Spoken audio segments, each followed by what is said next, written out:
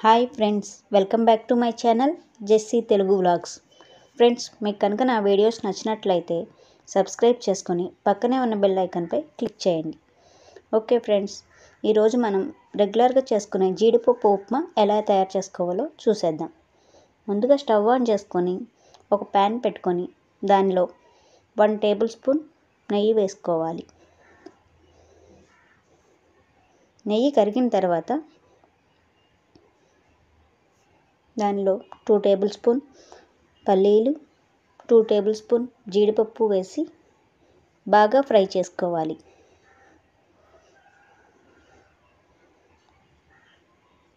ఇవి నెయ్యిలో ఫ్రై చేసుకోవడం వల్ల టేస్ట్ అనేది చాలా బాగుంటుంది. లేదు అనుకున్న వాళ్ళు ఆయిల్లో కూడా ఫ్రై చేసుకోవచ్చు.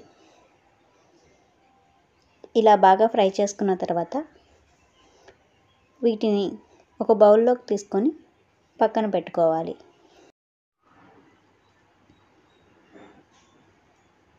ఇప్పుడు ప్యాన్లో వన్ టేబుల్ స్పూన్ ఆయిల్ వేసి ఆయిల్ కొంచెం హీట్ అయిన తర్వాత వన్ టేబుల్ స్పూన్ ఆవాలు వన్ టేబుల్ స్పూన్ పచ్చిశనగపప్పు వేసి బాగా ఫ్రై చేసుకోవాలి.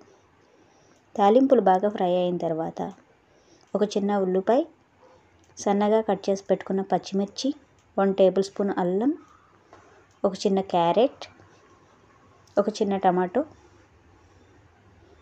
వేసి బాగా ఫ్రై చేసుకోవాలి.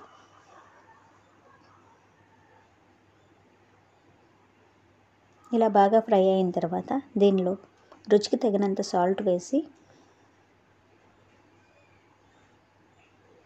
పావు టేబుల్ స్పూన్ పసుపు. పసుపు అనేది మీ ఆప్షనల్.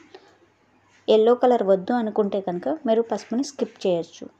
పసుపు వేసి బాగా ఫ్రై చేసుకోవాలి.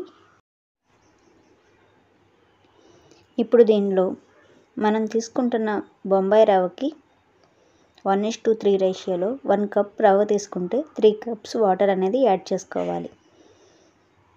నేను తీసుకున్న బొంబాయి రవ్వ బౌల్తోనే త్రీ కప్స్ వాటర్ అనేది వేసి వాటర్ని బాగా మరగనివ్వాలి. ఈ వాటర్ని ఒకసారి టేస్ట్ చూస్తే మనకి సాల్ట్ సరిపోయిందో లేదో చెక్ చేసుకోవచ్చు. వాటర్ బాగా హీట్ అయిన తర్వాత మనం వన్ కప్ బొంబాయి రవ్వ ఉండలు లేకుండా జాగ్రత్తగా కలుపుతూ వేస్తూ ఉండాలి.